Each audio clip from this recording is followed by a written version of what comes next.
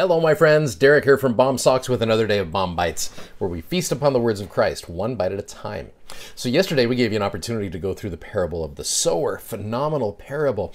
Today, uh, the Come Follow Me says that Jesus' parable, so the rest of these parables found in chapter 13 of Matthew, help me understand the growth and destiny of his church. The prophet Joseph Smith taught that the parables in Matthew 13 describe the growth and destiny of the church in the latter days. Hey, that's us, right?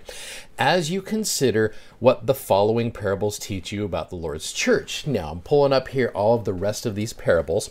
Now, you got the parable of the wheat and the tares, which we're going to talk about on Thursday. You've got the parable of the mustard seed. You got the parable of the leaven. You've got the parable of the hidden treasure. You got the parable of the pearl of great price. You got the parable of the fish net, and then you got the parable of the householder with new and old treasures. Now, we're not going to cover all of these, but there's a couple of these I want to share with you that are relevant to the growth of the church in these latter days. So, for example, you have got verse number 33, which is the parable of the leaven. It's just one verse, but there's some cool stuff here. He says, Another parable spake he unto them, The kingdom of heaven is like unto leaven. Nice little rhyming there, right? Uh, the footnote says, Yeast, which a woman took and hid in three measures of meal until the whole was leavened. Now, back in 2003, Elder Carl Pratt said this. He said, The prophet Joseph Smith saw a special meaning in the Savior's mention of three measures of meal. It may be understood, now I appreciate that, it may be understood that the Church of Jesus Christ of Latter day Saints has taken its rise from a little leaven that was put into three witnesses, the three measures, the three witnesses. Behold, how much this is like the parable. It is fast leavening the lump and will soon level the whole. As those who bake know, the leaven or yeast is a very small part of the recipe to make bread.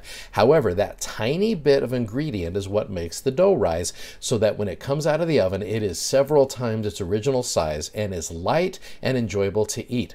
What a blessing the three witnesses of the Book of Mormon must have been to the prophet and other converts in these early days of the church. They were men who had heard the voice of God, who had seen the angel Moroni, and who knew beyond doubt the divinity of the Book of Mormon and the call of Joseph Smith as a prophet. So I love that comparison right there. Again, that setting of side by side, that three measures of meal, which make the whole so much bigger could very well be those three witnesses David Whitmer, Oliver Cowdery, Martin Harris, three men who started off small and whose testimony has grown with that. Love that little comparison right there. Uh, there's another one. If you go down to verse number 47 through 50, you got what's called the parable of the net. Now, I was taught this by a seminary student a couple years ago, and I thought this was so interesting because we were talking about them in our class, and we talked about how to, you know, compare these and how to outline them and find the find the application. I had one student. He's like, "Okay, I totally got an application for the parable of the net." So we went through and read it, where it says, "Again, the kingdom of heaven. It's like unto a net that was cast into the sea and gathered of every kind, which when it was full, they drew to shore and sat down and gathered the good into vessels, but cast the bad away. So shall it be at the end of the world. The angels shall come forth and sever or separate the wicked from the just, and shall cast them into the furnace of fire, and there shall be wailing and gnashing of teeth. And I was like, okay, tell me how this applies. He's like, this has got to be talking about the internet. And I just thought, Okay, it's the parable of the, the nets. so I said, explain. He said, well, what you do is we've got this crazy age of information where there's so many things that can be gathered. Some are good, some are bad. He said, you kind of have to filter through this information age and you've got to decide as you're out there fishing, you get all of this stuff coming in, then you have to decide what is good and what is bad. And I said, okay, I love that. Now compare it to the growth of the kingdom of God on this earth in the latter days.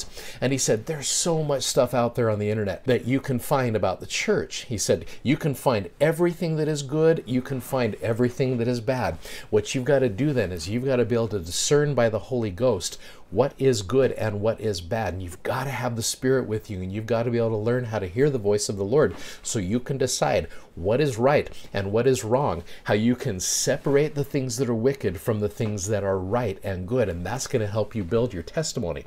And I just let that kid teach the rest of the lesson that day because I love that parable of the net. Now, was that Jesus's original intention in teaching back then about the power of the web and social media and things like that? I don't know. I'm not trying to suggest that Jesus didn't know what he was talking about about our day. But I love how this young man in my class made that comparison how the parable of the net is about what we gather in from all of the media sources out there, which is one of the things right now that's causing a lot of problems for people because there's so much information out there that you've got to gather the good and cast the bad away. I love that analogy right there. So, as you go through each one of these parables about the kingdom of heaven on this earth, try to look at it with the eyes of what we're going through today, and then you rely on the Spirit and you let the Spirit teach you what you need to hear about that. I am grateful for these parables and I'm grateful for what they teach me about how to grow my testimony here in the latter days. Thanks for watching. Thanks for subscribing. Thanks for sharing. We love that you do that. Please check out our amazingly comfortable gospel themed socks at bomsocks.com. Have a great day, and we'll see you next time. Godspeed. Bye bye.